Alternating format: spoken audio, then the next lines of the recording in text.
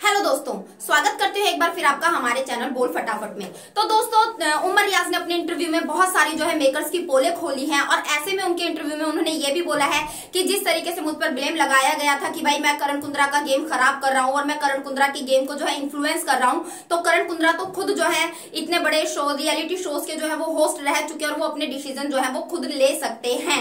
लेकिन हाँ अगर तेजस्वी प्रकाश की बात आई तो उन्होंने बोला कि मुझे पूरा पहले से मुझको अंदाज़ा था जब मैं के अंदर था कि मेकर्स का पूरा पूरा सपोर्ट जो है वो तेजस्वी प्रकाश को मिल रहा है। जिस तरीके की रियलिटी रियलिटी जो है तेजस्वी प्रकाश की वो कहीं ना कहीं दिखाई नहीं जा रही है। वो रियल में कुछ और है, लेकिन जब मैंने बाहर आकर एपिसोड्स में देखा तो उनको कुछ और ही जो है वो दिखाया जा रहा है एपिसोड में। मेरे बाहर आने के बाद भी जो है वो मुझको गालियाँ दे रही है, लेकिन ऐसा कुछ एपिसोड में जो है वो दिखाया नहीं गया, वो सिर्फ़ लाइव फ़ीड में ही हमने देखा है।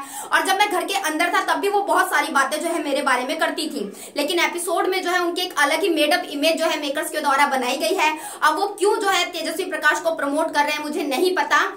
और उनका कहना है कि सीज़न 15 जो है वो बना ही इसीलिए मतलब सीज़न 15 में उनका जो था एक कि भाई हमें तेजस्वी प्रकाश को जो है वो सपोर्ट करना है, तेजस्वी प्रकाश को हमें प्रमोट करना है। उसके बारे में उमर यास का कहना है कि मुझे नहीं पता कि भाई उमर यास क्यों तेजस्वी प्रकाश को क्यों जो है वो मेकर सपोर्ट करना चाह रहे हैं।